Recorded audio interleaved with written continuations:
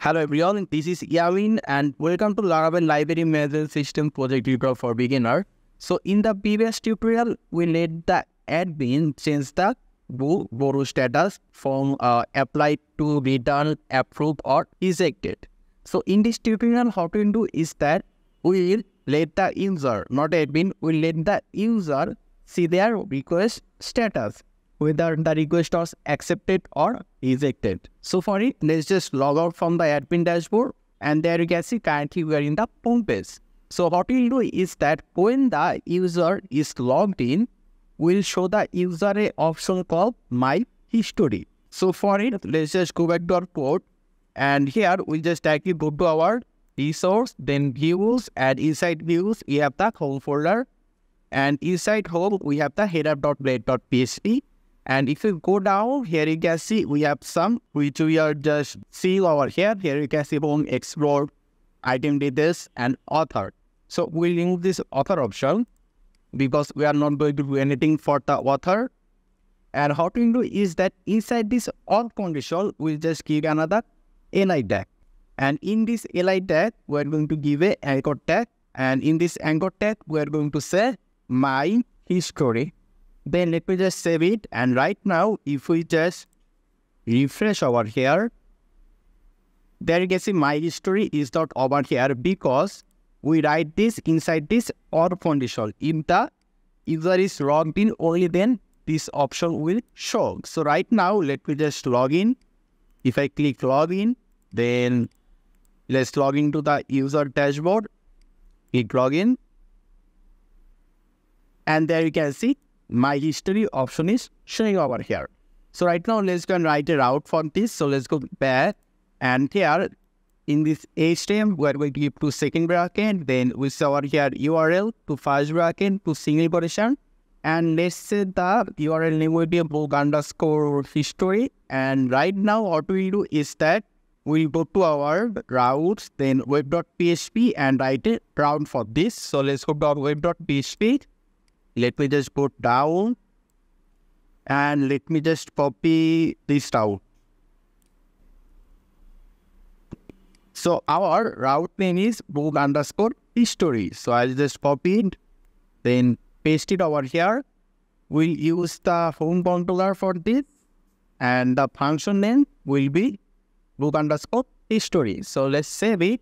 So right now we'll go to our home controller and write a function book underscore history and the request will be get. Uh, so let me just go to the app, then HTTP controller, and then we'll go to our home controller. So let me just go down. Then we are going to serve here public function. Our function name is book underscore history to first bracket, then to second bracket.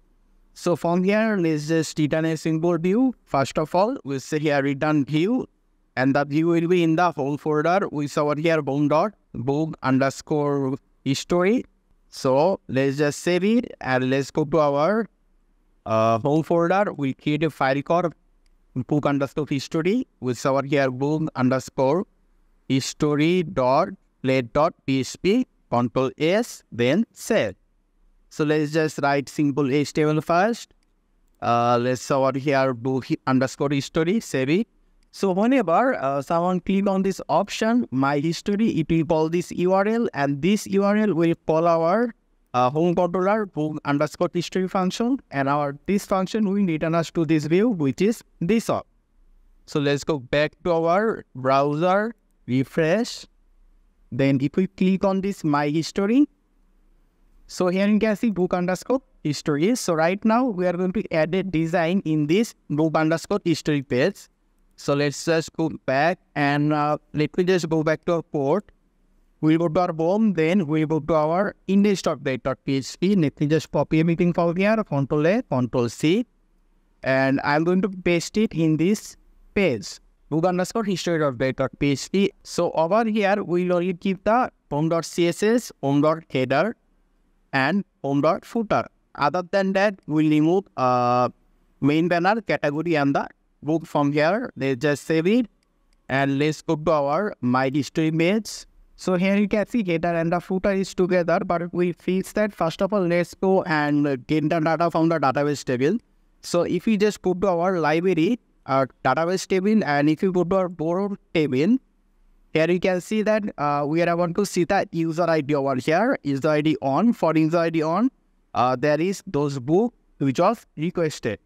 So right now, uh, based on the login user, we'll show the specific requested books and their status. So let's go back to our code and we'll go to our home controller.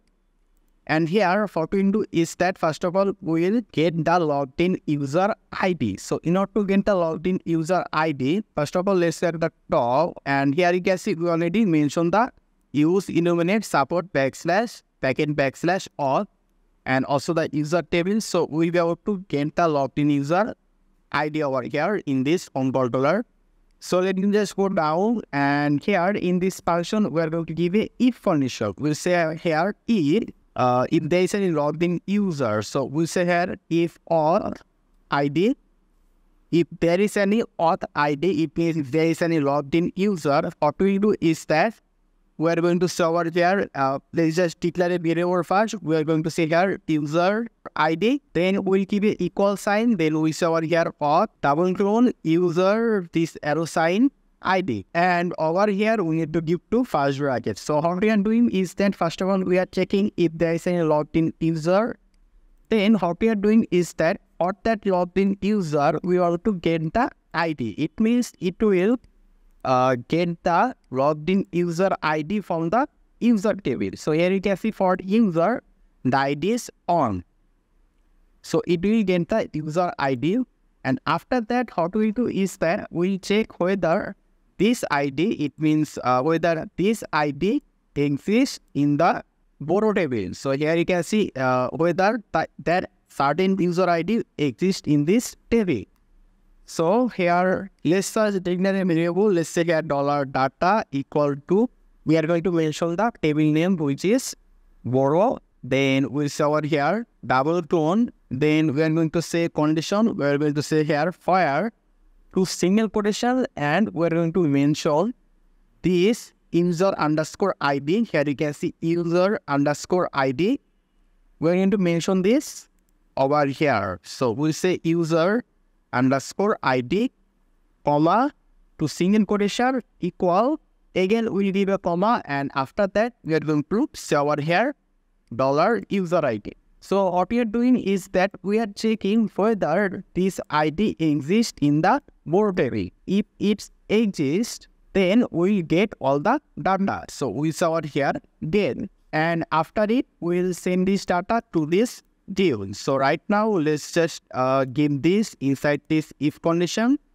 Then we say over here, comma, compact to first bracket, single quotation, it will be data. So let's go to our book underscore history.blade.php and over here, in between this header and footer, we're going to mention a div.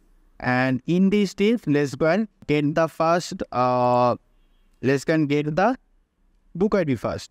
For example, here you can see book ID 675765. So since there is multiple data, so we need to use for each loop. So we say here at the end of for each, we say dollar data as dollar data. Then we need to in this for each loop, we are going to say here in for each. Then inside this, uh, we say two second bracket dollar data this arrow sign, let's say over here, book underscore ID and book underscore ID which will come from here. So right now, if we just refresh over here, so here you can see 675765 which came from the database table. Uh, let me just zoom in. So here you can see. So obviously we need to fix the design, but first of all, let's just show the data properly. So using the ID, we'll be able to get the book name, author name from the book table. So right now what we can do is that, uh, let me just go back and let's go to our home controller and from here we are sending the data from the borrow table. So right now uh, here you can see those book ID and user IDs foreign key. So since those are foreign key which is connected to the book table and user table, we will be able to get the data from both of those table. So right now what we will do is that uh, we will able to show the book name from here. So we'll say here dollar data, this arrow sign. Since this is the foreign key, we need to say over here full. Then this arrow sign again, and we're going to say over here title. And this title uh, will come from the book table. So if we go to the books table, here you can see title is hidden over here. So right now, if we refresh, there you can see where we're able to see the book title. So the same way we need to get the author name and also the book images as well. So let's go back and first of all, let's can fix the design. So let me just uh, remove this loop and this div. And first of all, what we do is that we go to our uh, bookdetails.blade.php over here and from here, I'm going to copy this 3D. So let me just copy it and I paste it over here. Uh, class currently market, container and pro. Then I close those 3D and the last one. After it, or let me just save it. And right now, if we just refresh, the design will be fixed. There you can see the header section and the footer section is over here. So First of all, we are going to make a table over here in order to show the book status over here. So let's go back and here in this team, we are going to mention a table tag. Then in this table tag, we are going to mention the tier tag first. So in the first tier, we have the table header. So let's say we have the book name. Okay, let's just write the T stack first. I'll give, let's say, four more table header, two, and three, and this is the last one. So here we are going to say book author, and then we'll say here book status. Then this will be the let's just over here image, and uh, this one is not necessary for now. So after this th uh, table header, we're going to write some table data. So let's just say over here tr and in this tier, we're going to say here TD. So let me just copy this, Control C, and I'm going to paste it three times on 2 and 3. So here, uh, let's just give some random data over here. Let me select all of those. Let's over here EMACD, save it. Then if we refresh, so let's just make a design so that it looks like a table. So let's go back and here for this table, going to mention a class one here. Let's the class name will be table underscore design. Let's save it and let's go to top. And here inside the head section, we're going to mention a style.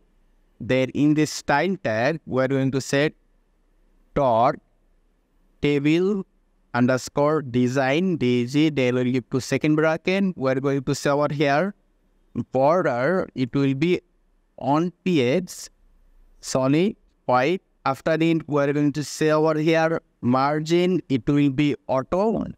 Then text align, it will be center. And let's also say over here margin tall.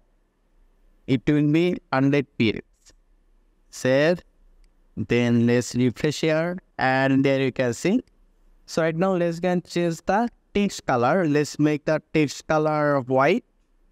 So let's go and what we're going to do is that we are going to write some CSS for that th tag and then td tag. So here we are going to say th, then we give to second bracket. So we are going to show one here. Uh, let's say background color, it will be sky blue. Then we are going to say over here color. It means the text color, it will be white. Font, white, it will be bold. Let's also change the font size. Let's say font size, it will be 18 pixels. And after that, let's write some CSS for TD tag. So we say here TD. Then we're going to say here color, it will be white. Then let's also give a background color. Background color, it will be, let's say black. And we can also add border over here as well. Let's a border it will be on page solid white as well. White.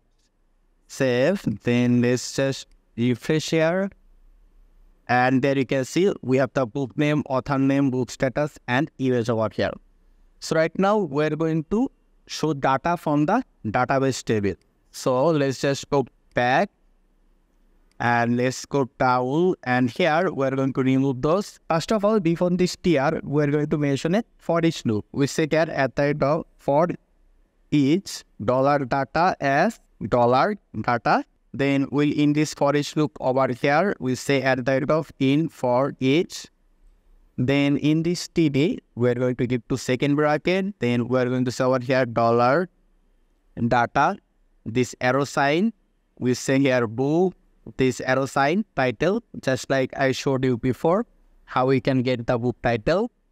Let me just send it and let me just show you. If we now refresh here, there you can see we're able to get the book name over here. So let's get the author name, then the book status, then the book image. So let's go back and here we're going to show the author name. So let me just copy this, paste it here. It will be author name. Let me just go to the book table and here you can see we write author name like this, author underscore name. So here we're going to say author underscore name and after it, it will be book status. So we are going to get the book status directly from the borrow table. So in the borrow table, we write status over here like this. There you can see status. So we'll just over here status. And this one will be for book image. So in order to get the image, we need to write the image tag. So we write the image tag, then we give over here the folder name where we store the image. So the folder name was uh, in the public folder, the folder name was book. So we're going to say over here book slash, we say over here dollar data. We are going to mention the book table name and here uh, let's go back to the book table. And in the book table we store the image in this column book underscore img so we are going to say over here book underscore img so let's just add this. Height and width. Let's say height will be 120 and width it will be let's say 80 save then let's refresh over here and there you go. And everything is too big so uh, we cannot write the height and width like this. We need to write over here style. So let's just mention a class over here. Let's say class name will be book underscore img let's the top. And here we're going to say dot book underscore img we're going to say over here height it will be 120 px then width it will be 80 px. Then refresh and there you go. So let's just show them in the center. So let's over here margin, it will be auto. Save it again, then let's refresh. There you can see it is in the center. I think uh, the header size should be a little bit bigger. So let's just add a padding for the header. So here in this T stack, let's say here padding, it will be 10. Then refresh. Okay, this is fine.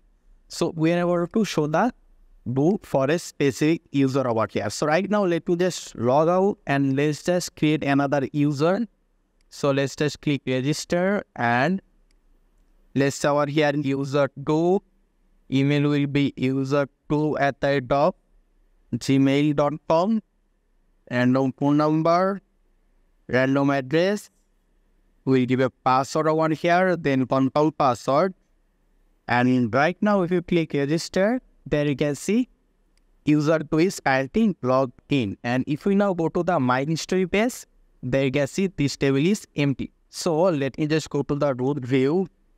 And if that user applied for a book, let's say the user on to get this book. So let's click over here, apply to borrow.